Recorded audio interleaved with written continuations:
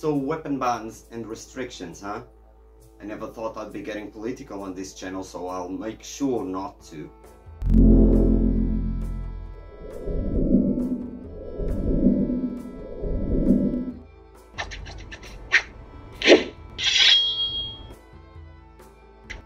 Hey folks, welcome to the Asgard's History and today I will be responding to a video and following responses from Matt Easton of Schola Gladiatoria and from Skallagrim in hopes to provide some input onto this debate.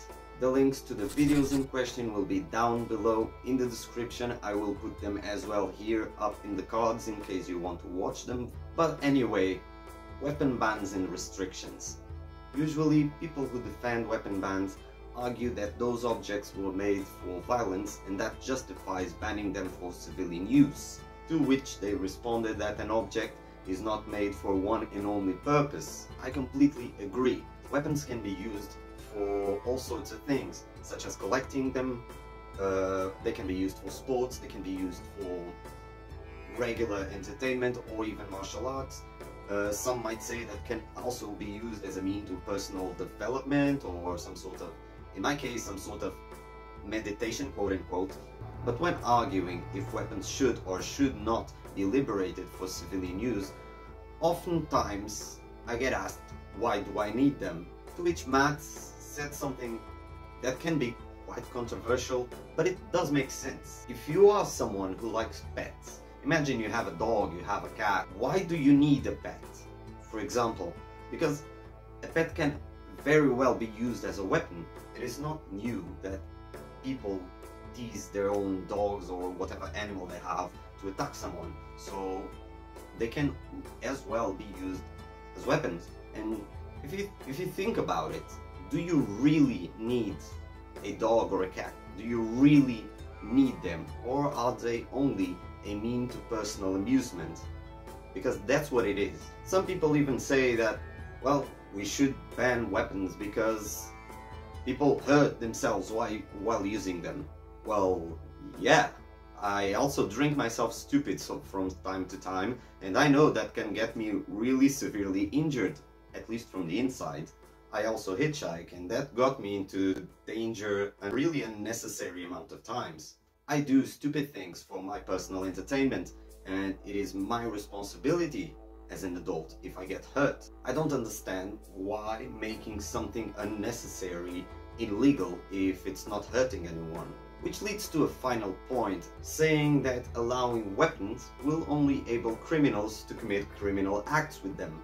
Think with me. If I was a criminal, why wouldn't I know how to get a weapon regardless of the law? I'm already breaking it, that's already my intention. I'm not a criminal and I know how to get weapons. Skallagrim even pointed the cannabis discussion. While here it is legal to carry it, it's not legal to sell it.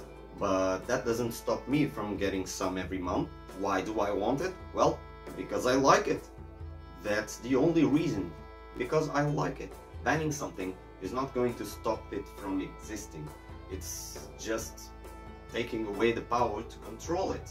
Which takes me to the day where I got arrested because of a sword that I just got. Last year I bought a sword on the website medieval.pt, uh, a sword provided by Battle Merchant. The links will be down below in case you want to check those websites. Not a sword for competition, I was planning to use it uh, to do reenactment, so it was not an, a really expensive one as well, it was quite cheap, yet it was quite flexible and completely blunt and safe to use. So as soon as I got it, I was quite excited and I went to train with the guy that was from my former HEMA club and afterwards I went to my city but it was already getting dark and I had no more buses from my from my village. My mother was working nearby so I called her and asked her for a ride she agreed to bring me home, so I stayed there. It was getting cold, so I thought to myself, why not to practice some drills to warm up? And that I did. I went to a park nearby the place that I needed to wait for her. And I've chosen an open space to make sure that I don't catch anyone by surprise that could be just passing by. It was then that a few people arrived and sat nearby just to watch me train. It's not so usual to watch someone training in my city because there is no HEMA club. Actually, the HEMA club where I practice, I take around three hours to get there. I didn't bother and I kept doing whatever I was doing. What happens is that these people decided to call the police and say that I was threatening them. I believe you know where this is going. In a few moments, I just felt two arms around myself and I decided to prepare to throw that person to the to the floor. As soon as I grabbed their arm, I just pulled on his shirt and I saw the blue and the, the Portuguese flag and I thought, well, if I finish what I'm about to do, I am fucked. So well, I decided to throw myself into the floor. When I look up, I have somewhat around eight officers around me screaming to let go of my weapon, uh, which I immediately did. I'm not trying to claim that this was police brutality or whatever you wanna say these days. Um, they got a report of an armed act of violence, so obviously they acted accordingly. My issue was not with the police, my issue was with the court. Because I was to serve four years for possession of an illegal weapon, even after the accounts on violence were completely dropped because I was proven innocent to that.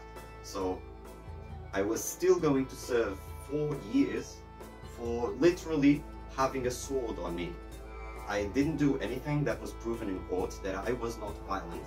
I did not I did not threaten anyone. I did not hurt anyone. I was just in a really open space practicing with a long sword. After an unnecessary amount of time in court, we could get to an agreement. So I was to serve 80 hours of community service and six months of uh, suspension. Plus, during those six months, I had to get a paper uh, justifying why did I need the sword. So something proving that I was practicing HEMA or something. The six months have passed February this year.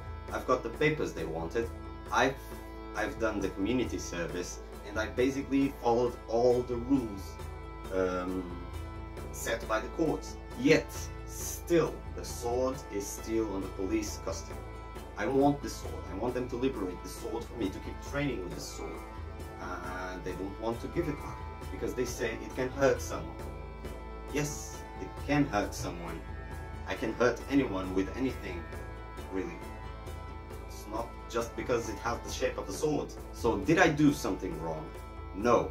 Did I put anyone at danger? No. I have even proven that I practice an armed martial arts.